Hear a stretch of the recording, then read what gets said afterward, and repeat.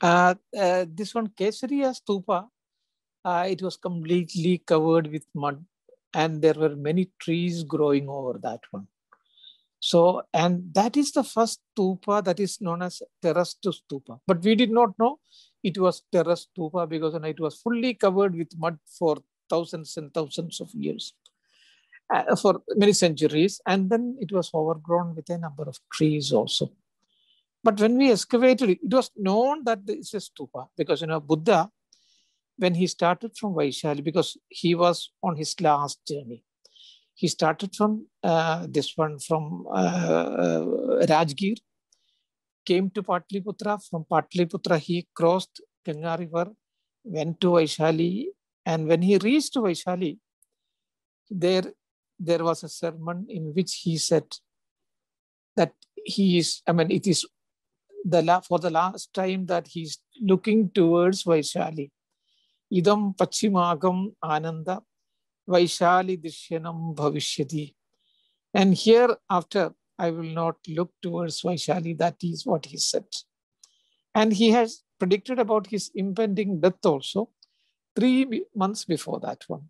So the people also of Vaishali also, I mean, they were emotionally charged and they said that if you are going from this city, we will also follow you. So they followed, but Lord Buddha said, please don't come behind me. But they followed him almost for 50 kilometers. And uh, when he reached at Kesariya, he said, No, hereafter you will not. And he handed over his begging bowl to the people of Vaishali. So there, a small stupa, mud stupa was built. But during the Ashokan period, it became a brick stupa. And then during the Gupta period, it became a terrace stupa. One, two, three, four, five. So it was this terrace stupa which gave inspiration for the great Mahastupa that is Borobudur Stupa in Indonesia. Because students had come from various parts of the world to study at Nalanda University. Nalanda, of course, we had Takshashila, but Takshashila was a smaller university. Nalanda, even in third century, fourth century, fifth century BC. It was an international university. And just think that Oxford University, uh, I mean, the first modern university is Paris University. We also call it Strasbourg University. That was in 12th century. And then you have Oxford University in 13th century. Then Cambridge University, that is also 13, I mean, roughly in 13, between 13 and 15th century. 700 years before, 800 years before, you had a bigger university in India where students came not only not only from in, I mean, Indian subcontinent. Indian subcontinent means, I mean, the whole India, Pakistan, Bangladesh, Afghanistan, Nepal, not only from here, you had a number of students from China, from Japan, because Huen Tsang himself was a student here. He studied for two years in this university, and then he became a teacher also in this great university. And similarly, from a number of universities, uh, from a number of countries, from this one, that is Indonesia, Malaysia, and uh, this one, I mean, uh, Sri Lanka, Thailand, students were there, there. And the king of Sumatra, he donated four villages for the library of uh, Nalanda University. And Nalanda University Library was nine-story library at that time.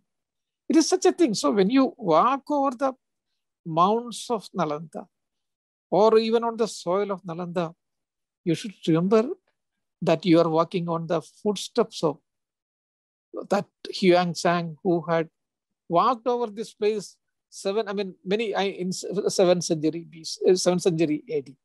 So this is that one. Once you put up uh, this one, tongue in each and every brick of Nalanda. That will tell you a thrilling story of those periods. So that we should be able to evoke that kind of uh, this one feeling, and we should be able to put a tongue also in each and every brick of the university. So this was one of those excavations. And then I excavated another one in Rajgir. That, that was a Rajgir stupa it was still older because there the relics of Lord Buddha that was also enshrined because the uh, relics of Lord Buddha after his death, it was divided into eight portions. The bigger portion had come to Rajgir because at that time, Ajatashatru was the most important king of uh, this one, Magadha. So the major portion came here. That was enshrined in a stupa. But where was this stupa? Nobody knew. People had identified various places. But then I could identify a mount. I excavated and we got certain part of that relic casket also. It was, of course, earlier taken, the relics were taken by uh, smugglers. That was long, long back, just after perhaps uh, Ashoka. But we could get a part of that relic, casket. So that was the importance of it. So similarly, so many things, you know, Bihar is a wonderful land. It is full of every second stone is a monument. It is pregnant with history, and you should be able to unravel that history.